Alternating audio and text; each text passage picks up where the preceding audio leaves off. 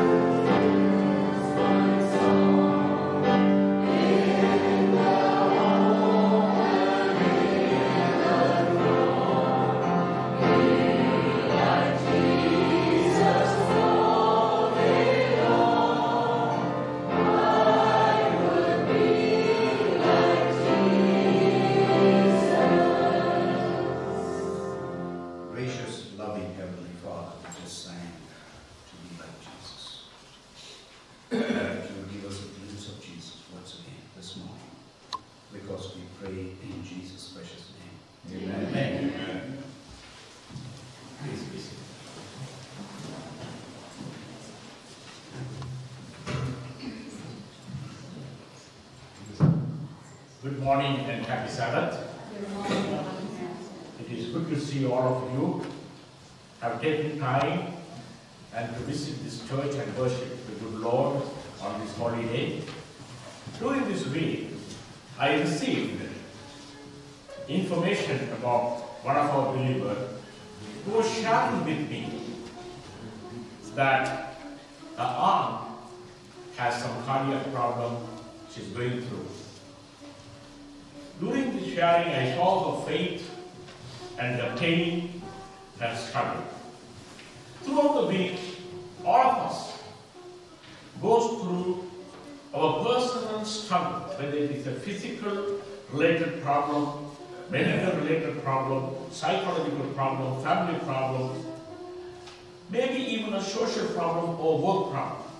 For all this, we also experience the presence of God.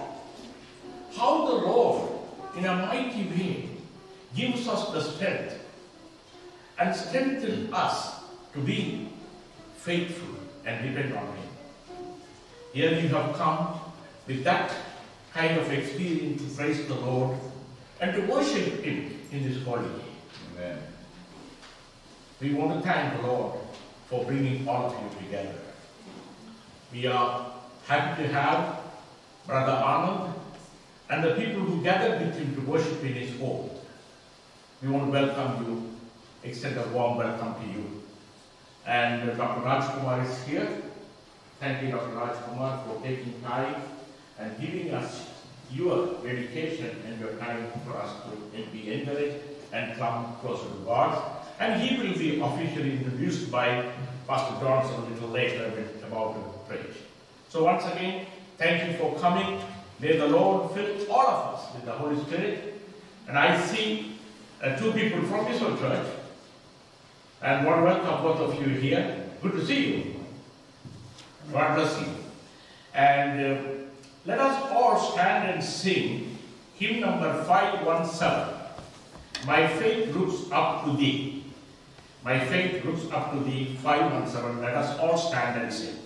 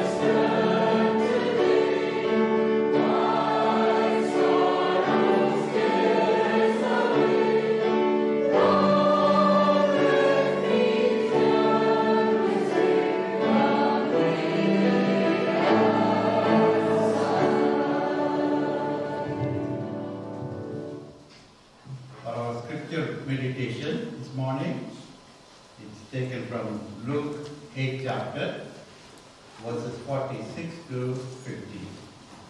Luke 8 chapter, verses 46 to 50. And Jesus said, Somebody has touched me, for I perceive that virtue is gone out of me. And when the woman saw that she was not hid, she came trembling and falling down before him. She declared unto him before all the people for what cause she had touched him, and how she was healed immediately. And he said unto her, Daughter, be of good comfort. Thy faith hath made thee whole. Go in peace. While he was, while he yet spake, there cometh one from the ruler of the synagogue's house, saying to him, Thy daughter is dead, trouble not the master. But when Jesus heard it, he answered him, saying, Fear not, believe only, and she shall be made whole. May the Lord add his blessings on the portion of scripture today. Amen.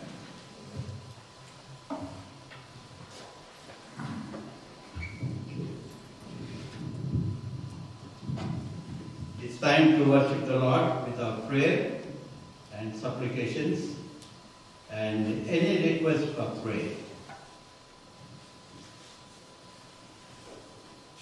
Any request for prayer? Mr. David?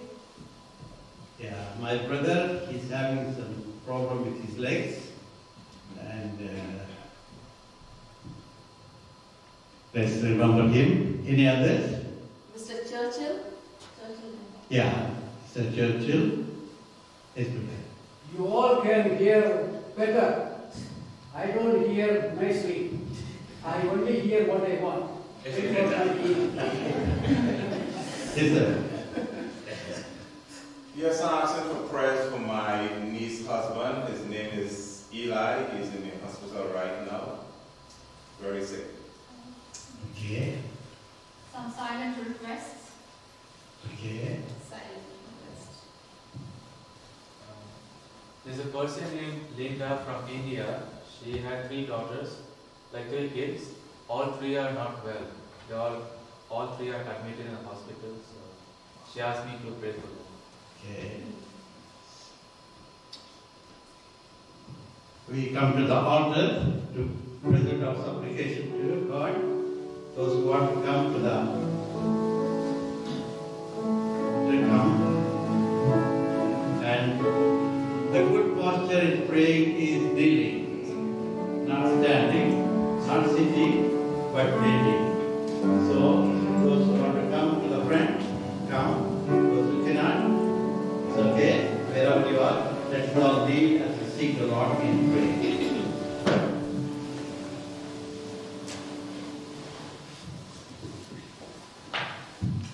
Holy God, righteous Father, we thy children have come to praise, sing praises unto thee, and to meditate upon thy holy. Lord in heaven, come into our midst. Speak to each one of us as we wait upon thee. Lord in heaven, bless each head that's bowed in thy presence. Bless us according to our needs.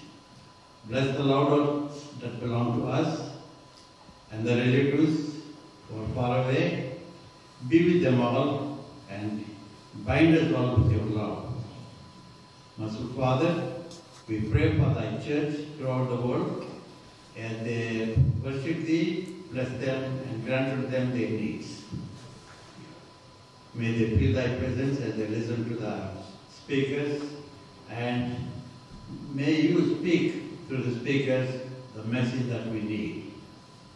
Merciful Father, we thank you for the leadership of thy church. Give them wisdom. We pray for the preachers who are doing thy gospel work. Give them thy strength and thy wisdom. Protect them. Merciful Father, we also remember the sick ones. There are many on their sick beds, and many of us who are, whose names are mentioned here, we need you and your healing touch. Merciful Father, we pray, may every name that's mentioned here be heard in thy presence. May they receive answers from thee. Merciful Father, we pray for the sick in general. Bless them all, heal them. We pray for the service of doctors and nurses and all the medical personnel. Bless their service. Keep them under thy care. Loving Lord, we pray that you be with those who are in sorrow. Comfort them, Lord. Give them thy comforting hand over them. Merciful Father, we also pray thee to be with those who are in troubled circumstances. Give them peace. Father in heaven, we pray that you bless the church, bless all of us, help us all to come closer to you and closer to each other. We thank you for the speaker that's appointed for today. As Dr. Rajkumar brings the message, touch his lips and speak through him. Give us the message that we need for this day. Once again, we pray the Lord to forgive us our sins and shortcomings and our failures. Fill us all with thy spirit.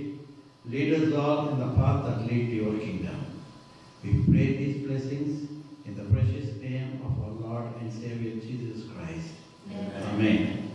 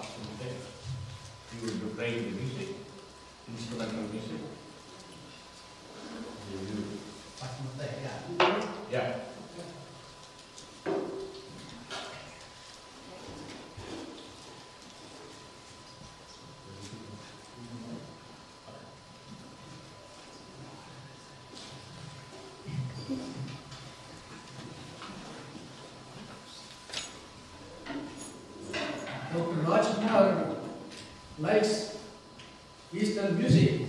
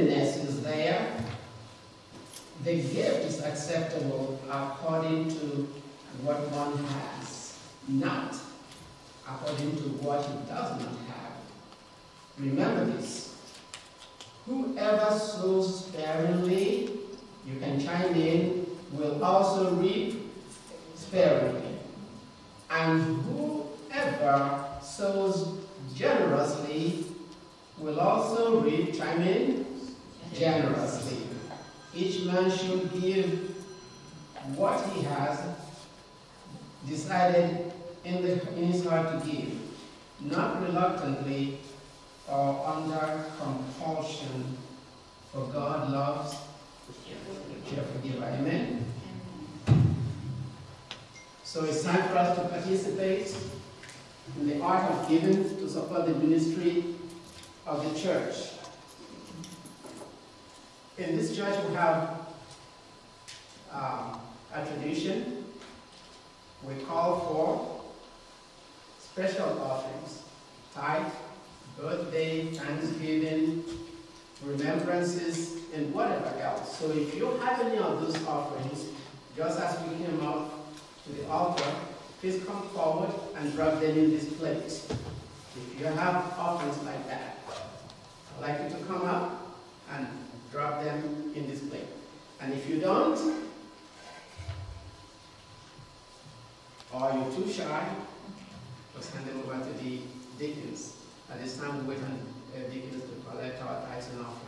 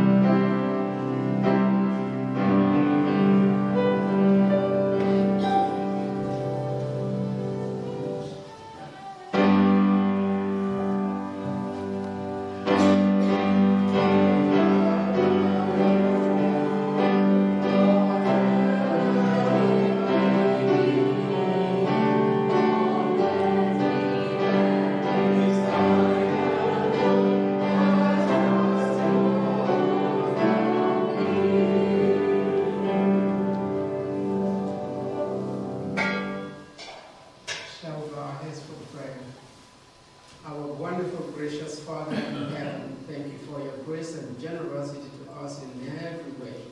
And thank you for giving us the opportunity to return just a small portion of that which you have given to us. Bless our little efforts that you may yield big fruits, this and other things we pray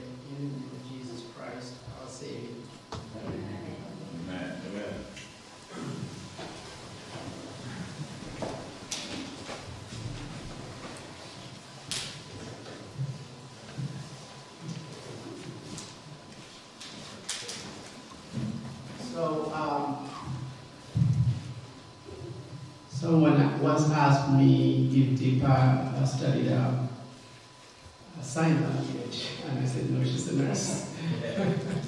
so this morning be ready for some signing of uh, the children's uh, music uh, segment. Uh, just picture children at heart and do what she does.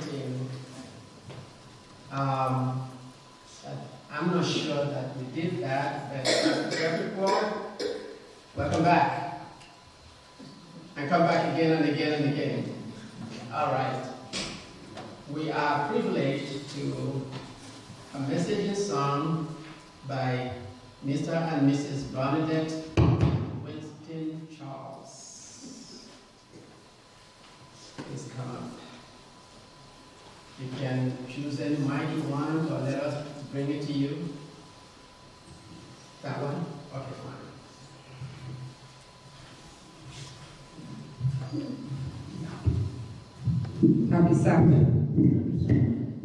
I guess we were doing some sign languages earlier. I didn't know that we were doing it. Bye bye, right? Everyone knew bye bye, okay? Uh, we were just playing around with it. No, no. That's really nice. Thank you so much for sharing that song. So we're going to do a wonderful, merciful Savior. God is such a wonderful God. And we're here to bring that song to you today.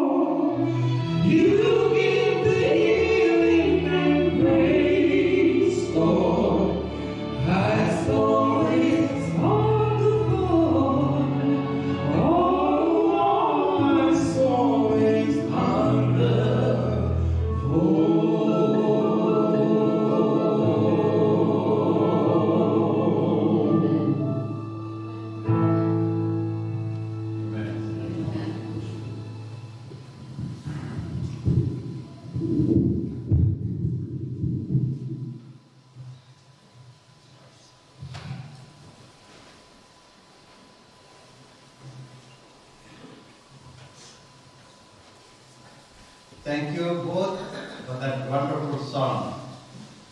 Thank you. God bless you. Usually when they introduce somebody, they get information.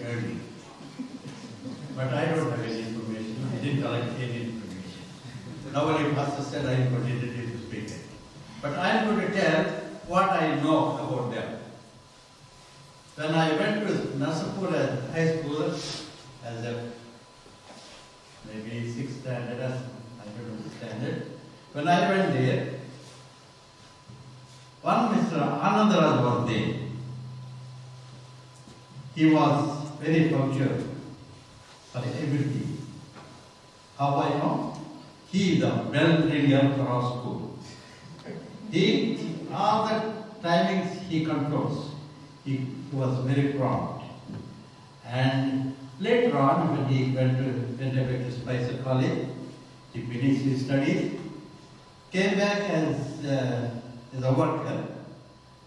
My parents were working in one place where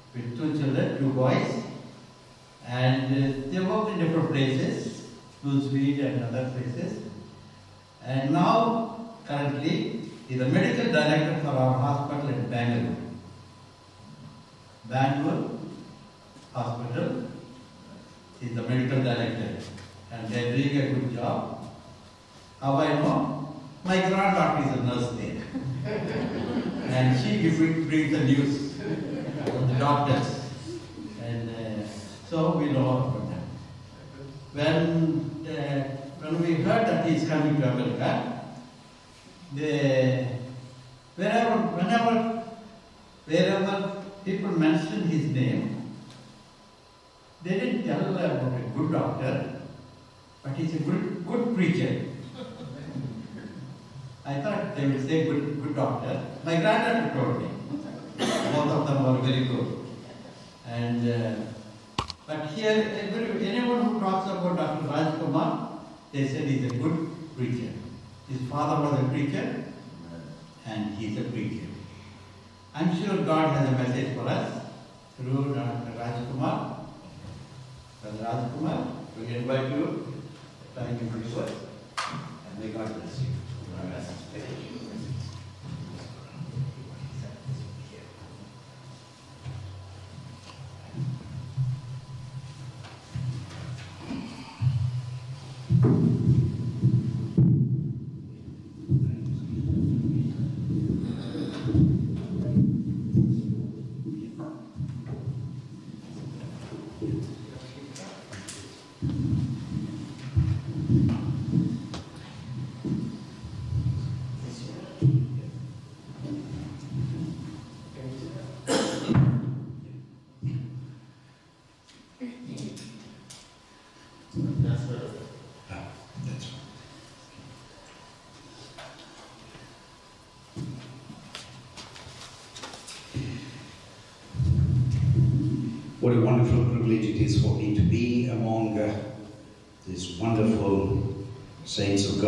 meeting here, both from the HopeSide and Calvary Church. I deem it as a great opportunity and uh, the time that we could spend together. I've enjoyed the lovely music that you have played, the song uh, that set the tone, uh, Mr. and Mrs. Charles. Hearts always hunger for. I hope that we are gripped with that hunger as we worship God today. I plead with you as we are going to study God's Word that you keep praying, that truly the ethos of our heart will be fulfilled this morning as we begin to listen to God's Word. Because we are at a time that each one of us needs an encounter with God. An encounter that transforms. An encounter that transforms. I was visiting your beautiful country, and uh, what a privilege it is to go around these places and see some wonderful uh, events that are taking place, and the landscape is really awesome. This Thursday, I happened to meet or I happened to go and see a very unique place which you are all familiar with, and that is Lancaster, Pennsylvania, and that's a place where the Amish people stay.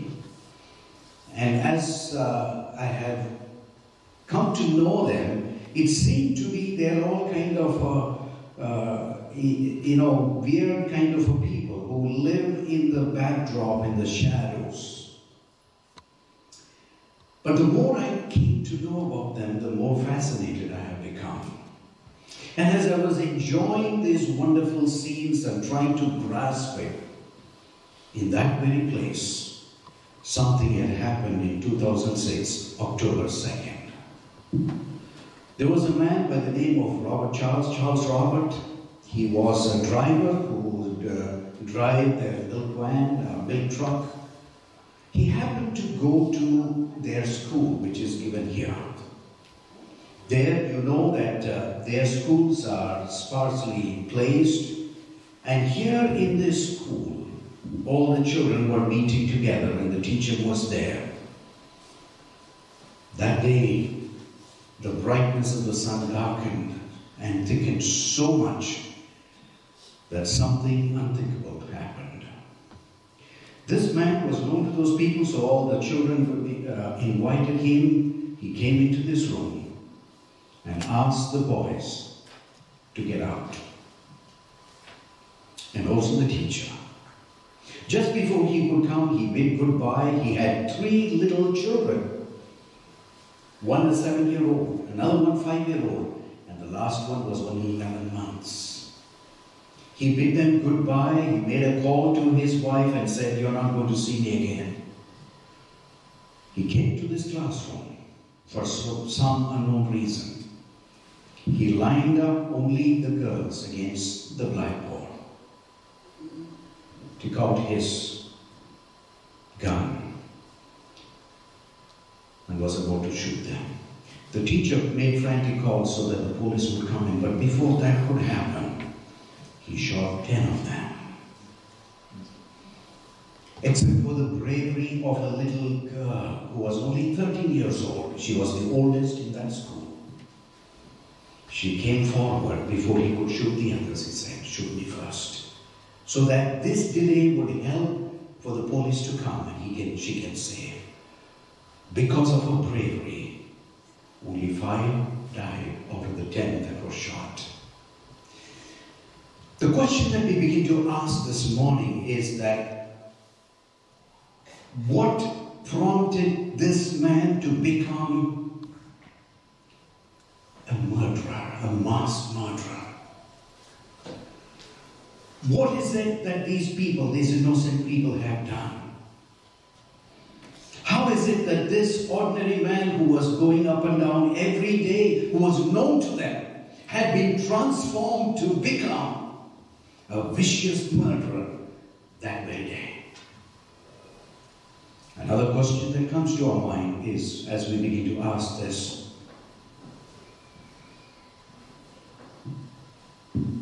what transformation that had taken place in that girl as she stood in the firing line and took the cross. Transformation. One, to become a mass murderer. Transformation, to become a shield for the others. We all need an encounter, an encounter that transforms one way or the other.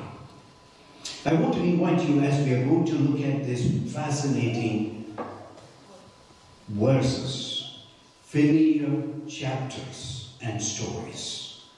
We are going to look at snapshots of different events that we already are very familiar and perhaps might be able to dig deep in order to grasp what had happened that day.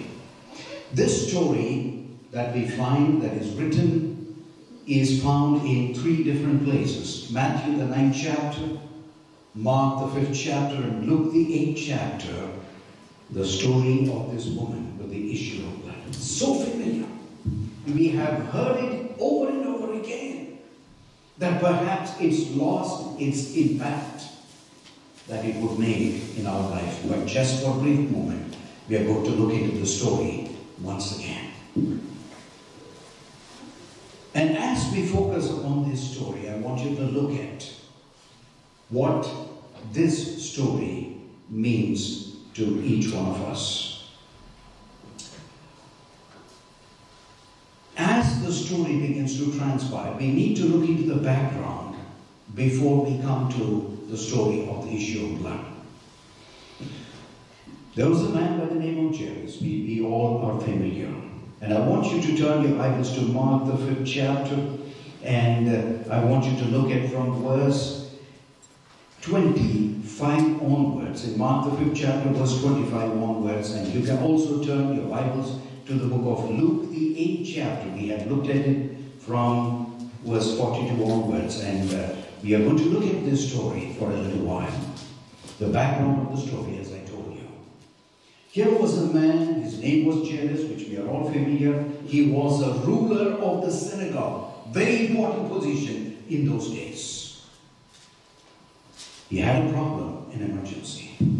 His daughter was dying. And he heard that Jesus was making his way and coming back to Capernaum. He was a believer. As soon as Jesus landed, the first thing that he did was he tried to come out of the crowd, meet Jesus right in the front, worship him. Just like any other father whose daughter, only daughter, would be dying with tears in his eyes, he implored to the master and said, Please come. I have an emergency. I want you to touch my daughter because she's on deathbed. We find the story also in Mark the ninth chapter and verse 18. Jesus immediately conceded to the request and began to make his way to Jairus' daughter's home. But you'll find that this is a very unique chapter because in this chapter you'll begin to find the story of 1212, the encounter of 1212. You'll find a lady that was suffering for 12 years and a girl of 12 years old who's on deathbed. Two encounters that we're going to look at this very morning.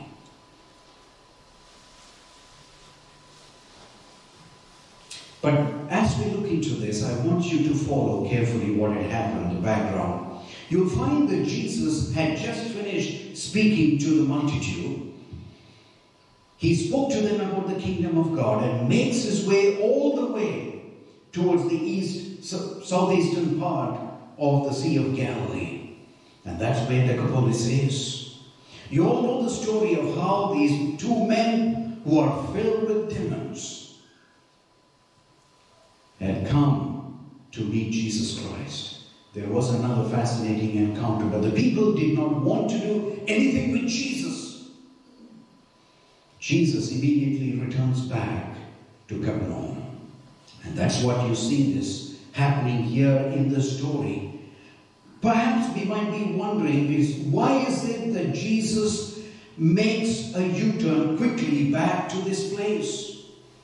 Why is it that the people in, in Decapolis did not even want Jesus to be there? Why is it that Jesus had to rush back to this place? You can see that Jesus comes back quickly.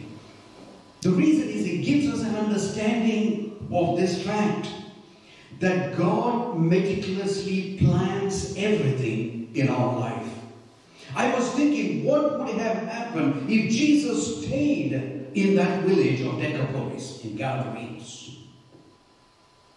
Perhaps Jairus' daughter would have been dead. God, we believe in a God that works behind the scenes. Amen to that? That's the reason why Jesus was rushing back because he knows that there was a man who was desperate to meet him, and that was Jairus who believed in him. But so often it happens in our own life, just like how it happened on that day.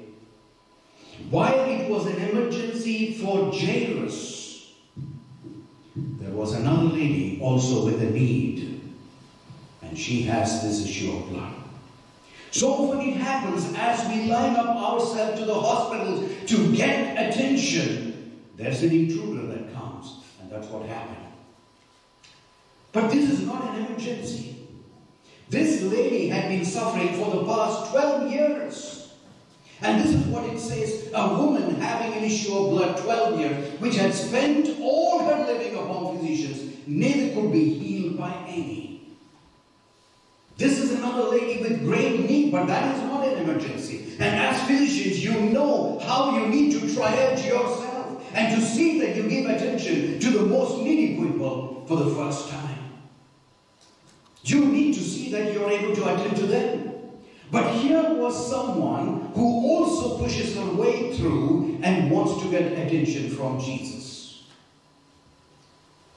She is a woman having an issue of blood which had spent all her living upon the physicians, and she could not be better.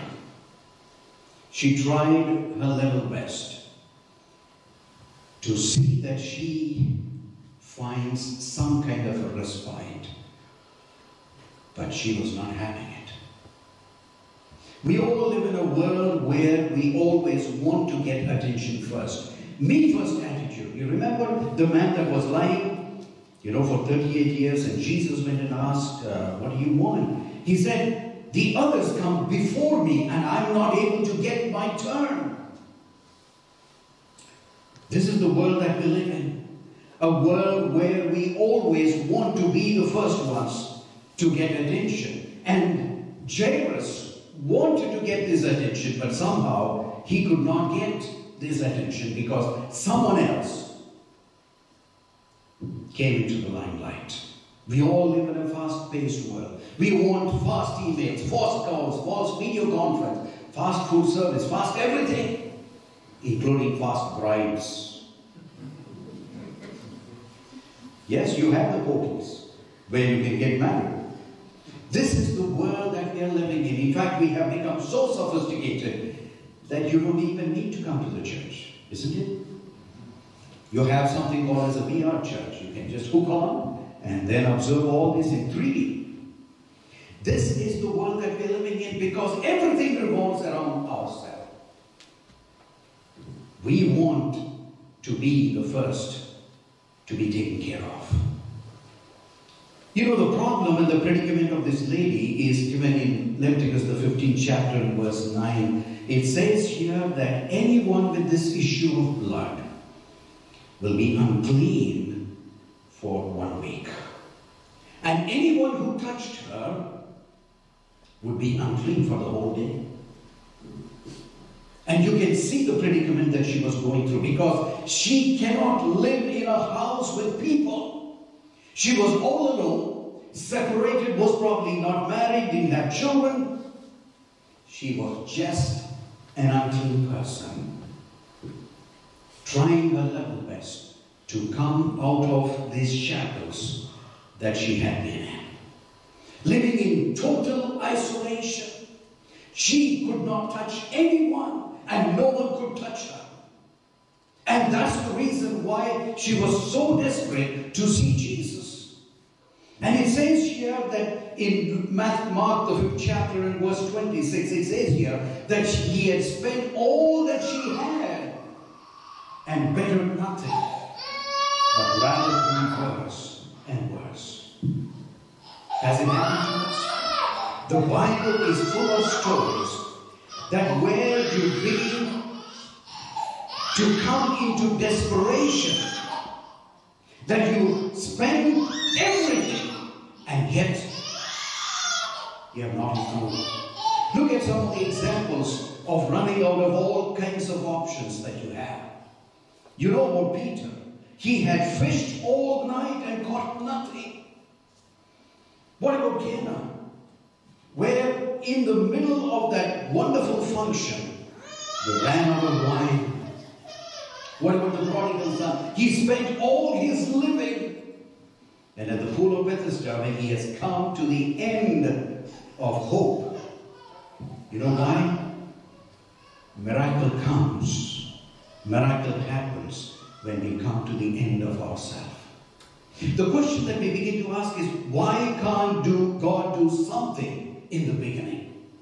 Why does He allow us to run out of all options before we can really understand the magnanimity of what God can do, the omnipotence of what God can do?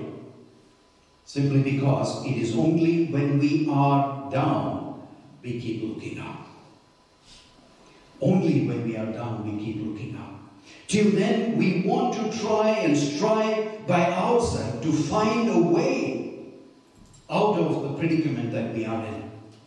But so often, God leads us to these experiences of trying all we can and yet find nothing. This is what had happened. And finally, when she had come to the end of herself, she comes up with this brilliant idea, which we all know. She said, If I may but touch the hem of his garment, if I may but touch. Mind you, nobody had given her this idea. Nobody had ever done this before. And she tries something that she had not done before. It is to touch the hem of the garment, that she would be made whole. This is what she had. But the problem is that she'll be taking a huge risk. What is the risk that is involved? First of all, she cannot get involved into a crowd. She cannot touch anyone. If anybody knew that she was having the issue of blood, and you know that usually they would be stinking as they walk in the crowd. And if anybody knows that she is an impure woman, she would perhaps even be stoned to death. How is it that this lady who's so impure would even have the courage to walk in the crowd and touch the hem of Jesus' garment? Simply because faith moves beyond obstacles. Faith moves beyond impossibilities that you see before you. That is where you reach out your hand in faith and see if you can touch the hem of his garment. The wonderful thing of what the Bible says is immediately. What did I say? Immediately. The moment she comes to her desperation and touches the hem of his garment, what happens? It says immediately. You know the story of Peter very well, isn't it? What was he? He was a fisherman. But when there was a storm that was taking place, and you know, when he asked Jesus whether he could walk on the water, and he begins to walk, and there was a storm, the first thing anyone should have done is just try to keep himself afloat. But you can see that Peter, instead of trying to swim, what did he do? He reached out his hand and said, Lord, help me. Somehow I begin to wonder why did Peter try swimming? The moment you begin to reach out to God, the moment that we begin to give up on ourselves, that is when the miracle begins to take place. It says, immediately Jesus stretched out his hand and lifted him. Here's a wonderful promise in Isaiah 41 17. It says, When the poor and needy seek water, and there is none, and their tongue faileth for thirst, I, the Lord, will hear them. I, the God of Israel, will not forsake them. This morning we had several prayer requests, isn't it? Some un, probably unforeseen requests or requests that you cannot even utter in front of others. I want you to take hold of this wonderful promise that I, the Lord, will not forsake them. Immediately, it says that she was healed, just like how Peter was healed. But the thing is, we begin to understand a little bit about the mindset of Jesus. Why does he ask this ridiculous question? The question we know that in Luke 8 chapter verse 45, and Jesus said, Who touched me? Who touched me? Peter, as impulsive as he is, he came quickly and said, Master, don't you know this? Why are you asking such ridiculous question? But only the Master knows what he was asking. The question is, who touched me with that touch of faith? Because many times in our life we have these wonderful experiences where we go to God on our knees and God has done several things. Let me ask you this question. How many of us have our prayers answered in our life? And I'm sure that all of us will raise our hands. Uh, raise our hands. How many of us were in desperation and God had answered our prayers? I'm sure that everyone will say that. But the question is, has it left you the same as you had been before? Or had it brought a transformation? Because the evidence of transformation only takes place here, as you see, when you have an encounter, did it lead to that transformation that takes place? Surprisingly, Jesus asked these probing questions. In John the 6th chapter, verse 36, he said, Jesus says this, You have also seen me and believe not. Another probing question in John 7, verse 5, neither did his brethren believe in him. Imagine for 30 long years that they were with Jesus and did not believe in him. Possible? Possible? Being in the church for 30 long years, 10 long years, and not having transformed, remaining the same as we have been. Look at John the 10th chapter, verse 38. At least Jesus says he kind of begs us, believe the works. And this fascinating verse in John the 14th chapter, verse 9, have I been so long with you, and don't you know me? That's the reason why Jesus asked this question. It is not association with Jesus. It is not casual touch with Jesus. It is not rituals in the church. It is not coming and congregating in the church. The question that Jesus asks is, Who has touched me? That profound touch that changes life forever. That is what Jesus is asking. And we pick this story again from Lancaster. You know what is so fascinating is not what the shooting has taken place, but what happened after. I was really in tears as I began to read this. This community that had been shunned by the world, they have done something so unthinkable. That very day, when five of their children were mercilessly murdered, the community had gone to the house of this man whose widow was weeping and shot to death with her three little children. And they begin to embrace her and comfort her in her sorrow. In the midst of this grief, they did not call the press, they did not call the attorneys, they did not make a show of anything. They did not point fingers to that man. That grandfather that very day went to the house of this widow, this murderer's wife. They invited the family of this lady to the funeral service of these girls that have been shot to death, but something even beyond that. They attended the funeral of Robert Charles. More than the non-Amish people.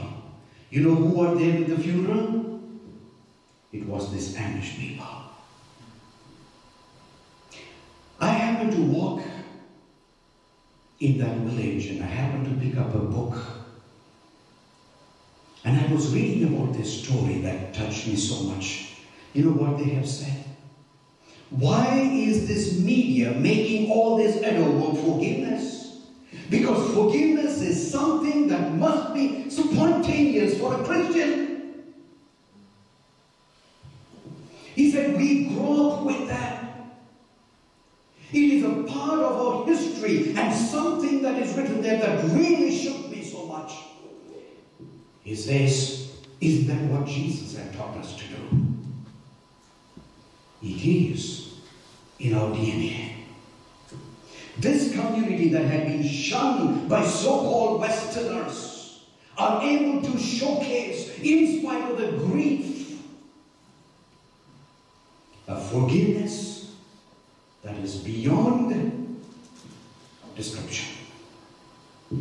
That is why Jesus begins to ask this question Who has touched me? Struggle with someone saying something against us and we become so unforgiving towards them. Look at this community that have demonstrated this, showcased this Christ likeness like ever before. This morning, we are going to ask this question among all of us that are seated here. The question comes resoundingly clear, reverberating in our own ears. Has anyone touched Jesus? The touch that makes it so practical and so visible, and at the same time, there is no kind of audacity towards it. Christianity that becomes so clear in our walk of life, the way that these people have it written. No resentment, no anger, simple, pure, Christ-like forgiveness. Amen to that. That is why Jesus asks, who has touched me? Yes, we all have witnessed miracles in our own life. Jesus had healed us for sickness. We keep praying in the church. But the question is that has that led to a transformation? Period. A transformation that can demonstrate Christ-likeness in everything that we do. That is why Jesus asked the question, who has touched me? Who has touched me? Because many times Jesus, we begin to see Jesus is asking these questions that seem to be impossible, that seem to make us even begin to think again and again. And we ask this question, what do you expect from me, Lord? And he says, did you touch me? Have you touched me? Who touched me? This is the question that comes to us. And as Jesus begins to ask this question, it seems as if he's purposely delaying what was going to happen. Remember the background? Jairus' daughter, his daughter was about the point of death. And the question that we need to ask is why is it that Jesus wants to make this woman a public display of what this woman had done? There's a reason behind this. Because by the time Jesus finished asking this, question, and this woman confessing that she has touched and was healed, something happened in the background. It says Luke 8, chapter verse 49, while he yet spake, there cometh one from the ruler's synagogue and say, Don't bother the master. It's over. Done. Your daughter is dead. There's no point in this procession coming to our house. Did we have these experiences? Where you begin to desperately ask God for attention. And he allows other things to happen that delays it. Purposely, it looks like that. Jesus knew the problem. He could have simply rushed to the home of Jairus' daughter. But he begins to take his own time, his own pace, and begin to ask questions and stop here and stop there. And we begin to ask this question Lord, why me? Why is it that I become the target? Why don't I find answers to the many questions that we have? Why do I become the target? I want you to understand some of these questions that Jesus began to ask, the reckless commands that Jesus says. When there are 5,000 people, there was no money, he begins to say, feed them. When the ship is drowning and people are frightened about their lives, he says, fear not. When there is boisterous waves, he says, why do you doubt? And when the daughter is dying and dead, he says, just believe.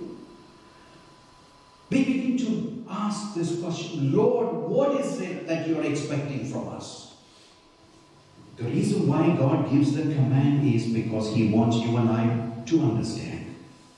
The one who's giving the command, you're truly clueless of who it is. He is the great I am that stands before you and asks you to do this. Not that you can do it with your own strength, but because He wants you to combine your weakness with His strength. And that is where the transformation begin to take place. Look at this wonderful passage when men go forth to their daily toil, as when they engage in prayer, when they lie down at night and when they rise in the morning, when a rich man feasts in his palace, or when the poor man gathers his children about the scanty board, each is tenderly watched by the Heavenly Father. No tears are shed that God does not notice. There is not a smile that He does not mark. It goes on further. It says, when men go forth to their daily toil and engage in prayer, there is no tear that is shed that He does not mark. There is no smile that He does not take notice of. But listen to this conclusion. It says, if we would but fully believe this, what is it saying? If we would but fully believe this, all undue anxieties will be dismissed. Our lives will not be so filled with disappointment as of now, for everything, whether great or small, would be left in the hands of God, who is not perplexed by the multiplicity of cares or overwhelmed by their weight. We should then enjoy a rest to our soul, to which many have long been strangers. Just on one condition, if we would but fully believe this. Is your heart burdened today? Is there some unresolved conflict that is trying to find expression in our life? It says, if we but fully believe this, all undue anxieties will be removed. We will then enjoy a rest for whom we all have been strangers. So the question that we come as we come to this conclusion is that why did God keep Jairus waiting? You know why? Because the wait is for a bigger miracle. Wait is for a bigger miracle. You remember Jesus had asked him only believe. Believe what? In fact, the reason why Jesus took time with this lady is he, give, he is giving a live demo of what can happen when you and I trust Jesus. As Jairus' daughter, as Jairus was walking along, he had to see everything taking place pace by pace, moment by moment, frame by frame, of how you can trust Jesus. This lady never asked Jesus, she just touched and yet she got the benefit. Jesus was telling, just believe. Can't you see what has happened right in front of your eyes? The wait is because God wants to do a bigger miracle. Perhaps in your life there are things that are dying. Maybe your family is falling apart. Maybe your children are going astray. Maybe your health is failing. The wait is for a bigger miracle. And I want you to understand this from the next story that we have seen. You know why God does miracles in our own life? God does miracles for one purpose. And the purpose is to see that we are able to become embodiments of God's grace. The miracle that Jesus does in our life is not for us, is to sh- showcase it to someone else. In these two events that took place, the miracle of this lady is to be showcased to that man so that he can gain strength and faith in Jesus Christ for another transformation. And for him, so that the wait is for a bigger miracle.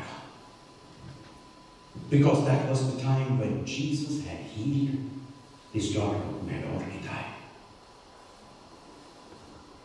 Have you witnessed a miracle in your life? Yes, we testify and we are happy about it and excited. But do you know that that miracle is not for you alone? Amen to that? That miracle that God has done, He wants to showcase it so that you can strengthen the faith of another person whose daughter is dying, who's giving up their faith in God. The wait is for a bigger miracle. There was a little boy by the name of Tess. He was only five years old. He had an older daughter who was seven years. Uh, his name was Andrew, and this girl's name was Tess. This boy had a problem in his brain for which he was slowly dying. Parents got together, they began to pray. They were trying to do their level best. They began to sell one after the other, whatever money that they could borrow from others, they did that. But somehow, this boy was deteriorating. One day, this girl, Tess, heard the conversation between the parents. Behind the curtains, the father was saying, You know, we have done all we can. But the boy is not being healed. I don't have any more money. We need to sell this house. And even then, I don't think this boy will become all right. She said, Why? Because he needs a surgery that we cannot afford. It is only a miracle that we need. The girl was hearing what the parents were saying, and she heard, We need a miracle to save this boy. Quickly she ran to her drawer, picked up the little coins that she had, counted them, rushed to the nearest pharmacy, and there she was waiting in line. The pharmacist, the in charge of the pharmacy, was talking very seriously with another person. She happened to wait and wait and wait, and yet he would not give attention to this little girl. So quickly she tried to make some noises, clear her throat, and yet he was not even giving attention to this girl. She took out a coin and began to tap on the desk. This man became so furious.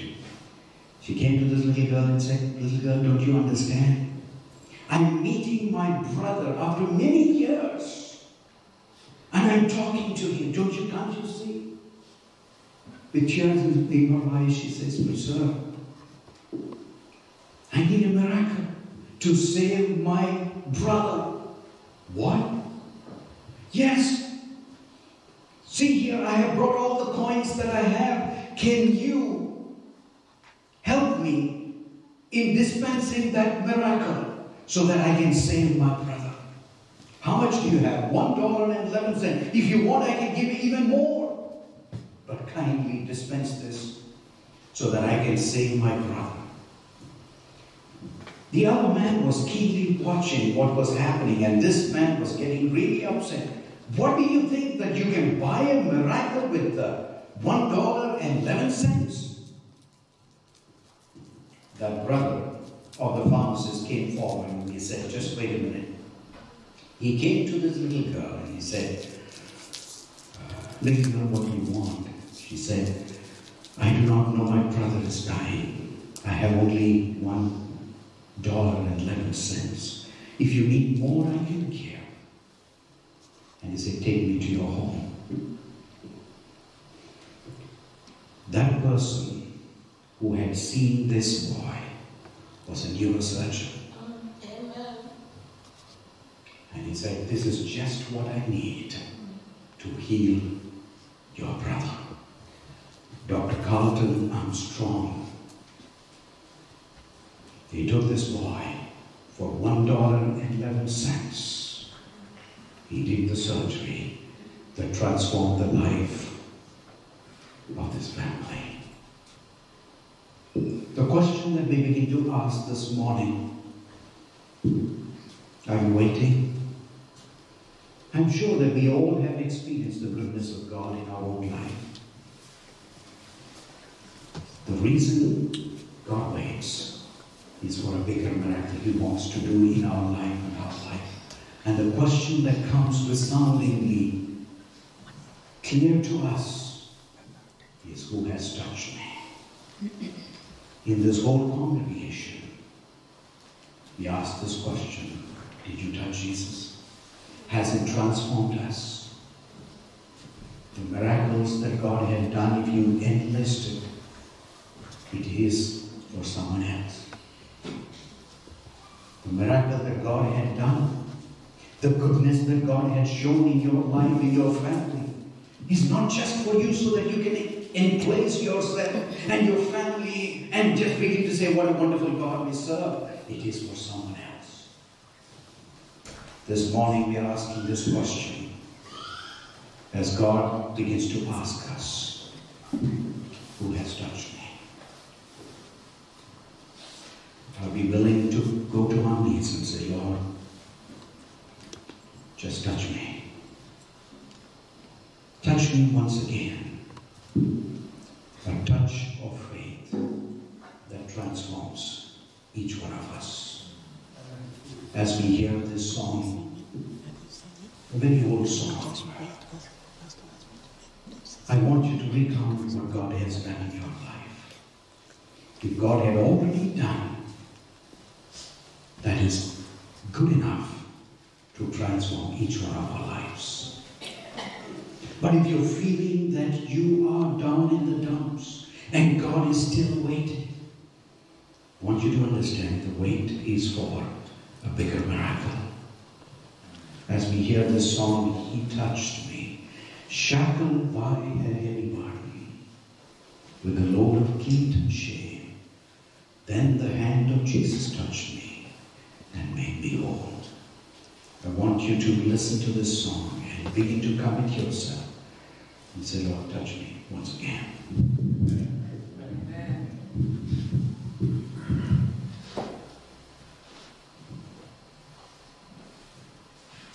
He touched me, oh, he touched me. And oh, the joy that floods my soul. Something happened, and now I know he touched me and made me whole.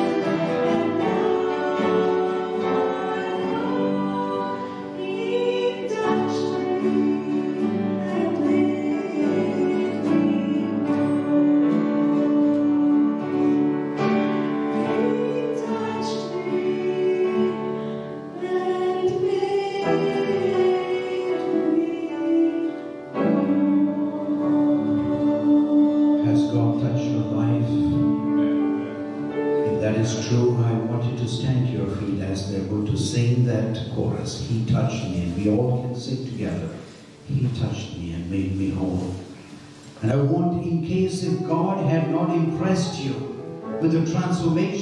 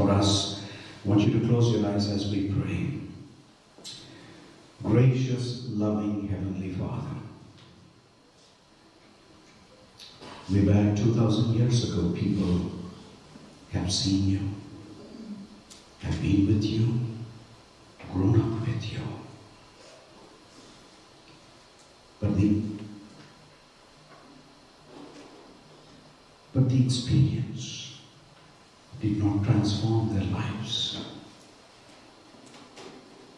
But there were others, O Lord, who had just touched you. The lives had been radically transformed to become an unashamed witness for you. We need nothing short of that this morning. We have realized that in case the things are seemingly delayed, it is because of a bigger miracle. And the miracle that you have done in our life is for others. I pray, Lord, that you transform us inside out. Touch us once again. May we leave from this house of worship transformed, changed, impacted. Because we pray in Jesus' precious name. Amen. Amen. Shall we repeat the Lord's Prayer and have the benediction? Our Father, which art in heaven, hallowed be thy name.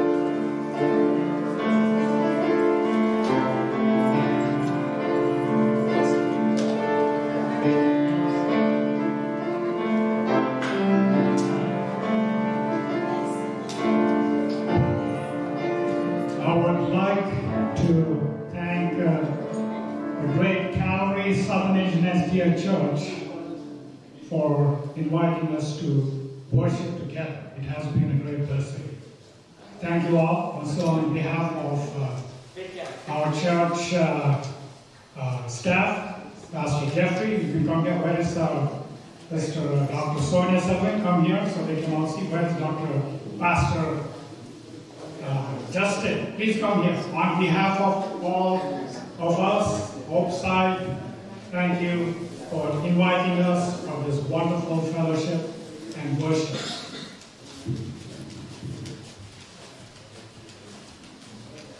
I've been here many years ago, and uh, probably over 20 years ago. So it's great to be able to come back and uh, worship with all of you.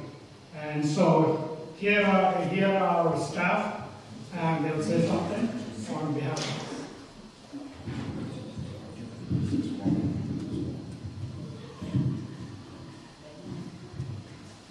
This is a surprise.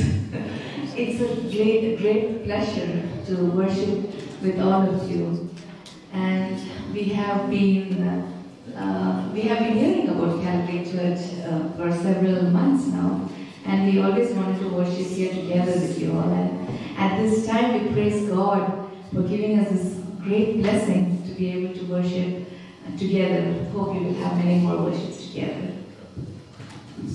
Thank you, Dr. Sonia.